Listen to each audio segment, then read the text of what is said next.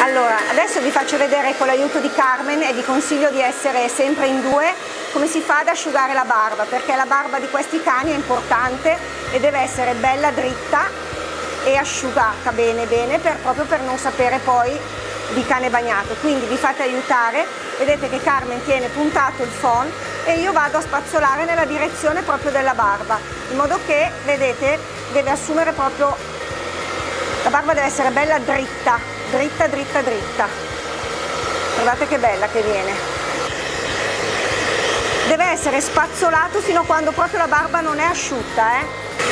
Stessa cosa vi fate aiutare anche per il ciuffo, per la frangia davanti, che deve essere bella tirata davanti. Qua ci vogliono proprio due minuti, due secondi, anzi, guardate, già asciutta. Perfetto.